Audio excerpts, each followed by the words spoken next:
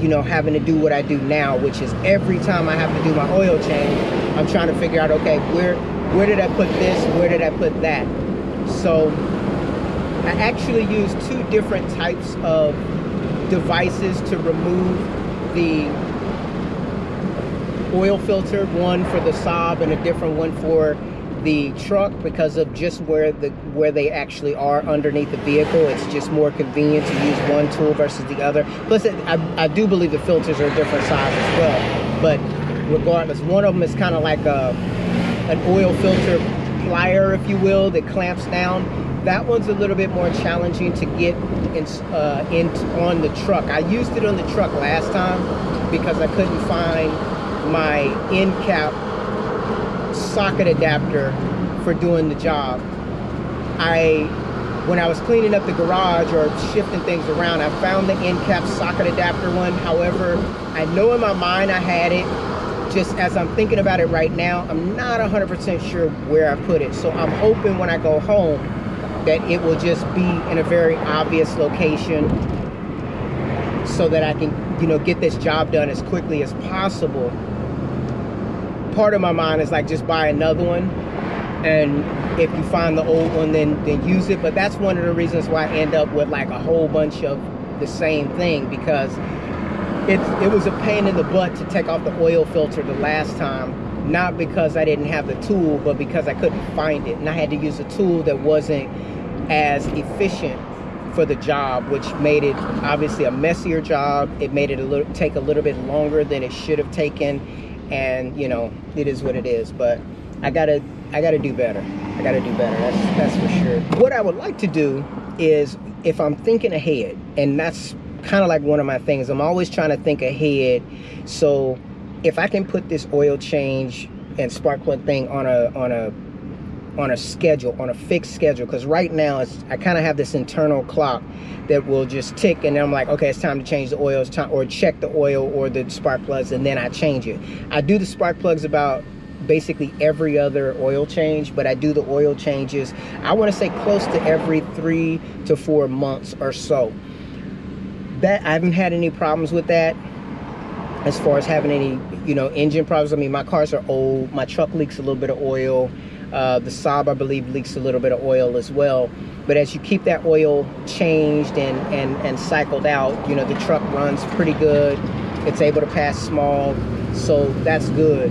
Uh, in the long run, well, if I had a third vehicle and a proper shop for auto mechanics, then I would have already taken the heads off of this particular truck and replaced them However, since we do just have the two vehicles at this time, I'm not going to do that until I know for certain that, you know, I'm going to be able to flow through that job. Because obviously, if I had a third vehicle, then it wouldn't cause any issue if I took the truck apart and I wasn't able to get it back together like in a, in a timely fashion. I actually did some damage to one of my vehicles because I was rushing some years ago. So I, I uh, I don't do that anymore. I, I make sure I map out and see if I have the time to complete the job.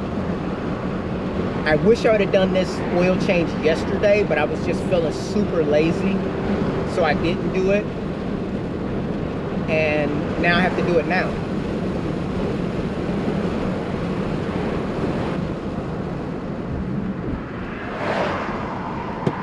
Okay, there's always gonna be somebody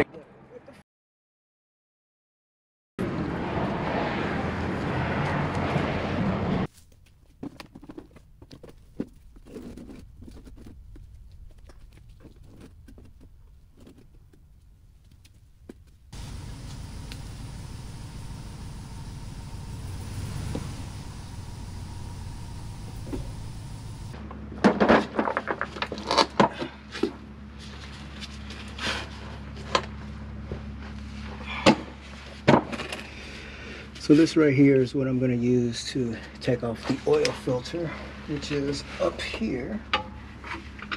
And it fits well, so I just have to find out which socket this is. I think it's a 3 8 Things first, let's loosen this here.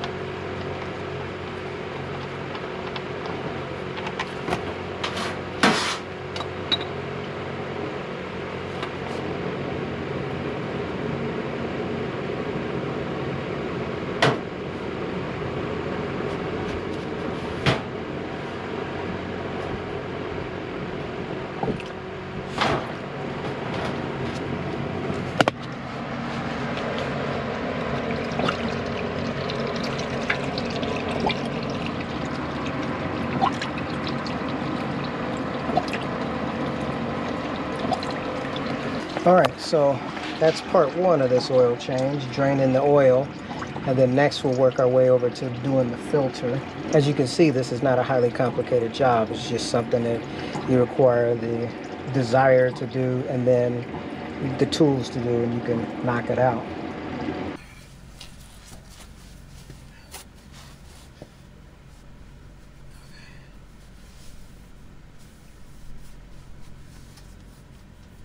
Now sometimes when I do this, I'll bring out two pans. I'll leave one here for this to continue to drain. And then I'll move over to the filter and use a separate pan to drain that. But today, I'm just gonna go ahead and just kind of clean this up. Go ahead and wipe it off here a bit. And then I'm gonna go ahead and plug it back up.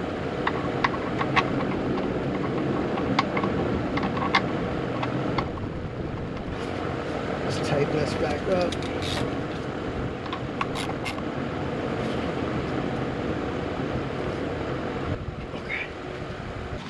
Again, the filter is right here.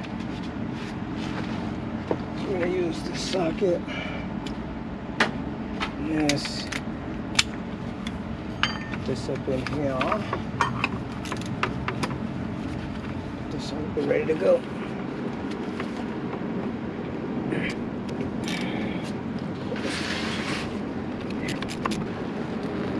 Back just a bit.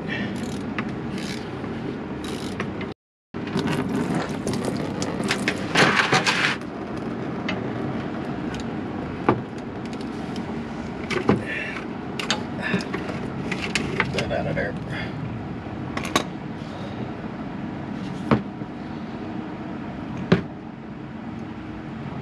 All right. All right. We're gonna be replacing the oil with uh, this 5W30 Edge high mileage. This is a fully synthetic oil. And I have my filter here. Let's see if this is the right one.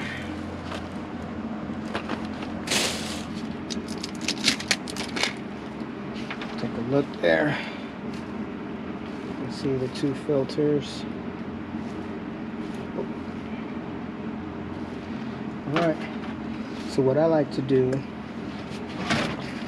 is take a little bit of oil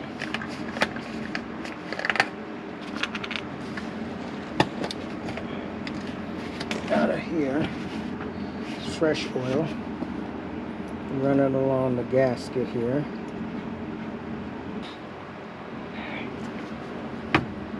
Go up here.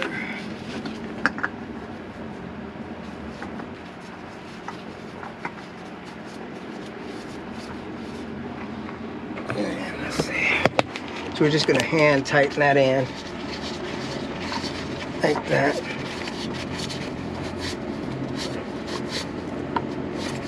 There we go. So the filter's changed. The old oil has been drained. So let's go ahead and uh, put the car back on the ground and put some more oil in it. We know this car is gonna take six uh, total quarts. So this container here has five quarts in it. And then I have an extra quart in there to fill up the rest. And that should be done for this vehicle.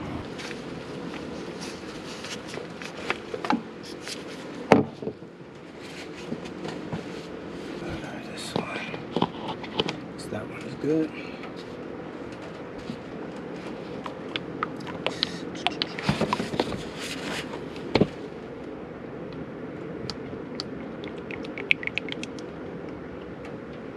Should have used my taller funnel.